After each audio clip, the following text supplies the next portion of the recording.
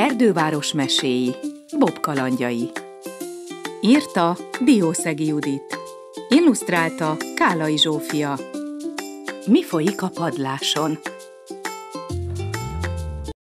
Frissítően üde, hűvös levegő korán ébresztette Bobot, ám ez a reggel mégsem volt olyan kellemes, mint a többi. Éjszaka égtelen zaj hallatszott a szomszédból, akkora, hogy füldugó nélkül képtelenség volt aludni. Az egész család fáradtan kóvájgott a nappaliban. Beszélek Kormorán Kornéllal, miért lármáztak tegnap éjjel, sóhajtott a tangó. Megmosakodott, felöltözött, majd átballagott a túloldalra. Legnagyobb meglepetésére senki sem nyitott ajtót. Vakargatta a fejét, mit évő legyen. Csodálkozott, hogy az egész éjszakás zajongás után senkit nem talál a házban. Mérgesen, majd még hangosabban zörgette meg az ajtót. Biztosan alszanak a nagy éjjeli dáridó után. Kornélékat keresed? Ért oda Galamb Imola a postás. Nincsenek itthon, már egy hete elutaztak a nagyszülőkhöz. A leveleiket is oda továbbítatták. Maradnak még vagy két hétig. Ez furcsa, csodálkozott Tangó. Azt hittem, éjszaka ebből a házból jöttek a zajok, de így ez lehetetlen. Tangó gondterhelten indult el a boltba beszerezni az ebédnek valót.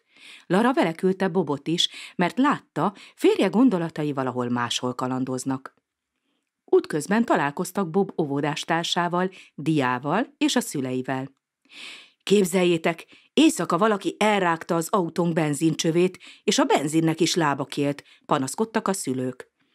Rejtély, rejtély hátán, mi pedig hatalmas zajt hallottunk az utcában. Dobbanások, puffanások, durranások. Sejtelmünk sincs honnan jött, mert a szomszédok vidéken vannak, válaszolt tangó. Aztán még sutyorogtak valamit Dia apukájával Argosszal, majd mindenki az útjára indult. Az ebéd finomra sikerült, a délután hosszúra.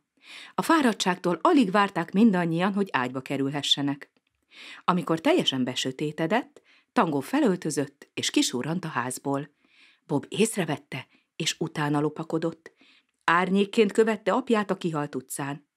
Argosz tűnt fel a sarkon. A két felnőtt halkan beszélgetni kezdett. Bob szerette volna hallani, mit mondanak, ezért közelebb somfordált.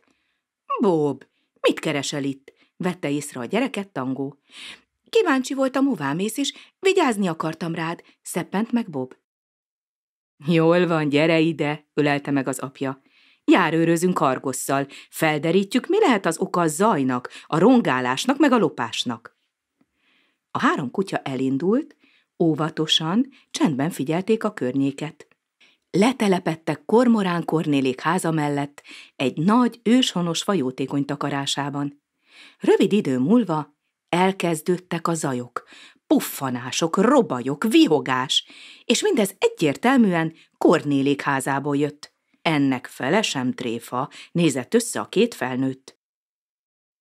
A ház padlása felől hallatszottak a kísérteties hangok, valaki le, s felugrált a padlás ablakából, az odahajló vékonyágat használva. Tangó gyorsan riasztotta Kántor ezredes rendőrkapitányt. Az ezredes és csapata perceken belül odaért, Megvárták, míg az ismeretlen felmászik, és hangtalanul a padlás ablak alá lopakodtak. Pár perc múlva a karjai között landolt a házfoglaló.